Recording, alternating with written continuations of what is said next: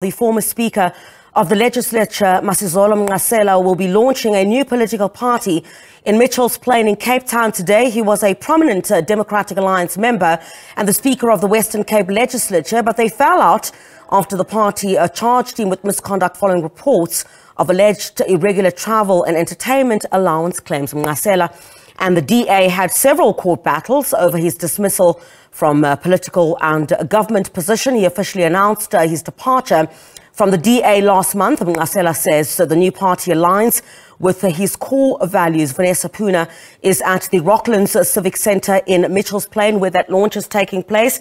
Vanessa, uh, good morning to you. Great to see you once again. So I want to talk about the venue, first of all, of where you're standing. Quite ironic. I think it was about, uh, is it um, 40 years ago that the UDF was uh, formed exactly where you are standing, and this is where Masizole Mnqasela is launching his political party. Griselda, yes, good morning to you. And indeed, uh, the symbolism is not lost uh, in uh, the choosing of this venue for the launch of this new political party. We don't know too much about it as yet, as the program is only due to start in the next uh, 15 minutes to half an hour. But you've said there that 40 years ago, and this year will mark its 40th anniversary of the launch of the UDF in August.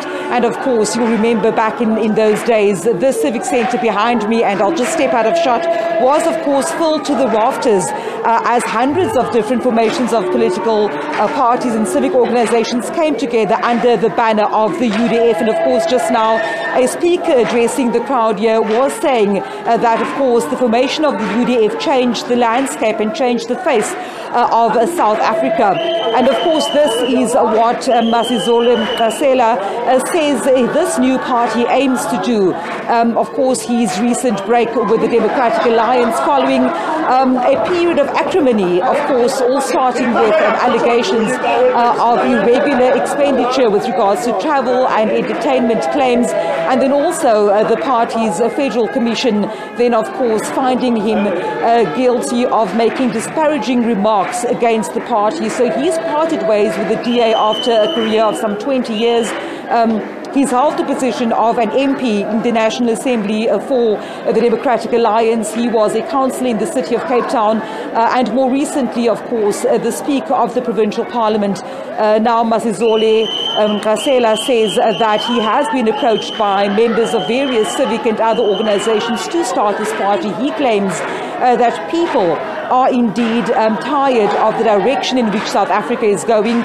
He claims that neither the ANC nor the DA can offer uh, the people uh, of South Africa what they do need. Now, I don't have any um, party manifesto or any details around this party. All I can tell you is, Griselda, if I step out of shot here for a second, it seems to me that the colors of this party will be something along the purple lines, um, uh, given the uh, the drapings and as well as the balloons, but uh, as to the name of the party and also who indeed will be uh, representatives of the party in the various provinces are all uh, said to be made known just now when uh, Masizole uh, um, Kasela comes onto the podium here to make uh, those remarks and also uh, to chart the way forward for what this party will stand for.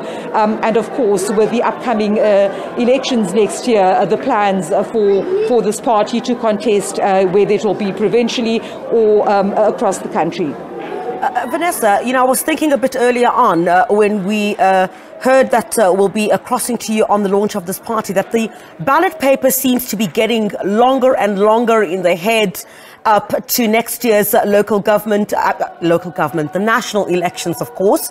And, um, you know, do we would this be classified as a revenge party uh, at all, given you know the acrimonious relationship between uh, you know the Democratic Alliance and uh, uh, how they basically parted ways, and I mean, could he be looking to woo?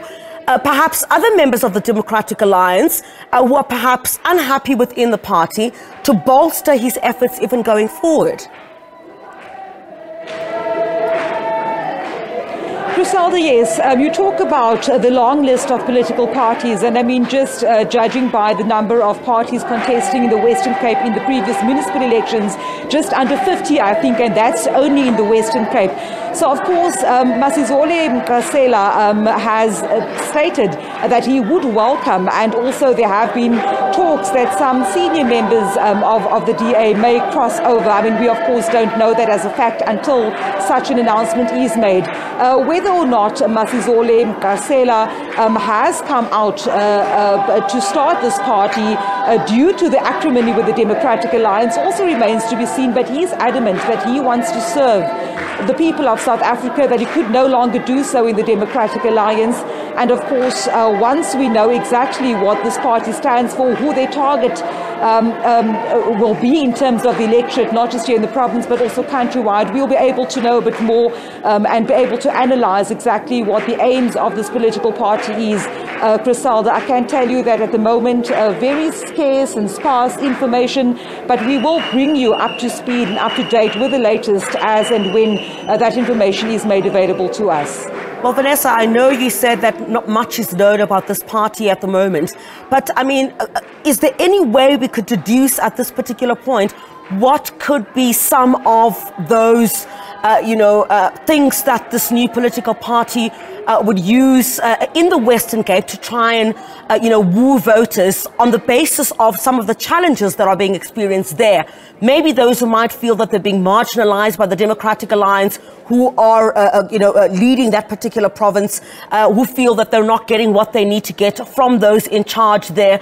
Would that be possibly some of, you know, the, the ways that this political party, you know, would try to woo some of these voters? I know we don't know much at this stage. Griselda, yes, indeed. And I mean, that's exactly uh, the statements that have been made uh, by Mnqasela uh, when he announced that he will be um, starting this new political formation. Um, he was talking about um, even members within the Democratic Alliance being uh, disillusioned uh, with um, what he calls the I suppose, refusal at some point uh, to uh, understand uh, the feelings around, um, you know, large segments of society in terms of where our country's history comes from. Um, we, we speak about this at every election. We talk about this concept of the colored vote. I'm not quite sure whether that will be uh, part of the strategy of this new political party, but indeed, Griselda, I do think uh, that uh, this party will intend to make inroads into those who do feel disillusioned uh, with uh, not just the ruling party here in the Western Cape, but perhaps those who have um, lost faith in other political parties. I mean, uh, the ANC has just recently had the uh, regional conference here in the Western Cape. Uh, we do know that uh, voter turnout, for example, at all the elections have decreased steadily uh, since the first elections um, uh, in 1994. I think it was at 87% at the time.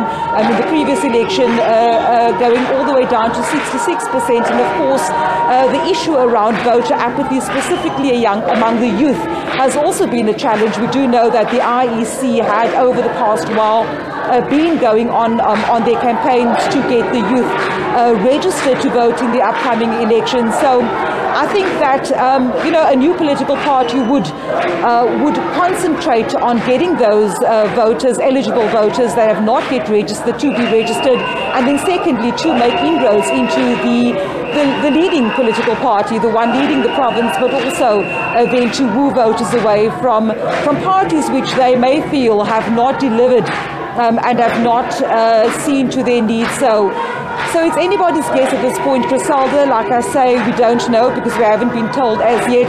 But those are the sort of dynamics which one can expect coming out of um, any new uh, political party formation. And of course, we await that announcement a year later on today at the Rockland Civic Centre in Mitchells Plain.